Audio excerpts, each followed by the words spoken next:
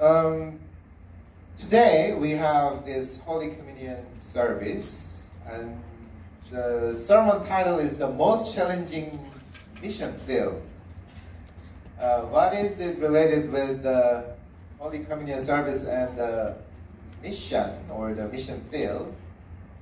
Can you think?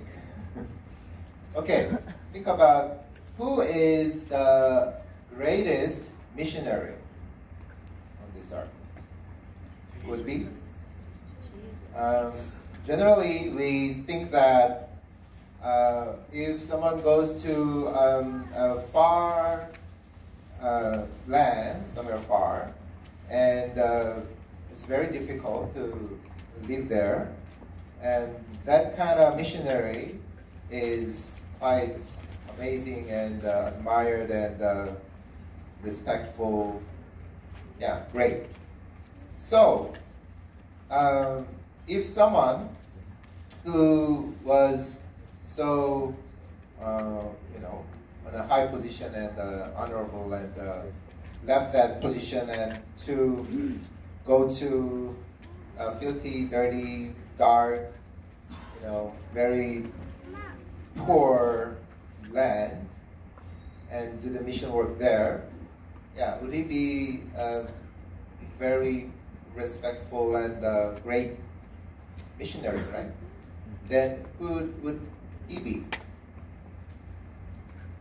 Of someone? yeah, I, I, only can think of Jesus as the greatest missionary Amen. this earth. You think so? Amen. I'm going to take a look at Hebrew chapter 12, verse 2. I'll read.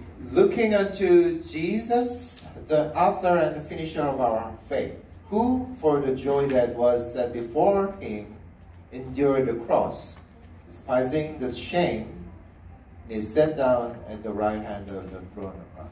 Right. He was sitting the, at the right hand of the throne of God, but he just gave up everything throne. And despising the shame, he came to this earth.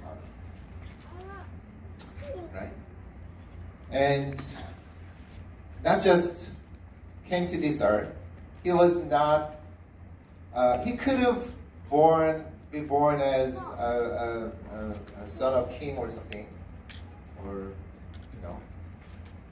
emperor. But he didn't. He was born in the manger and the son of a, a carpenter.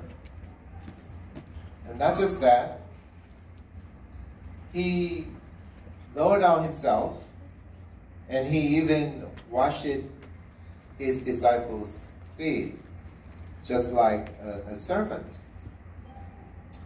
And uh, finally, he was tortured and uh, hit just like a prisoner, just like a criminal.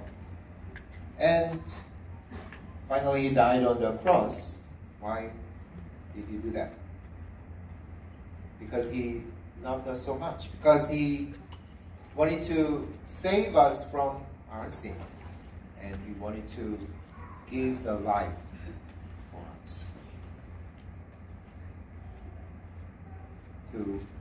let us live. So now, we have faith in Him and we, you know, want to live like Him. And we want to have the same heart as Him. We want to resemble Him so that we want to be disciples of Jesus. So that's why we are called Christians.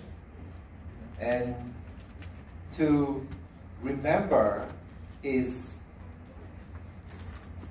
humbleness, his sacrifice, and his um, lowering down himself, we celebrate this Holy Communion service. We celebrate the, the foot washing.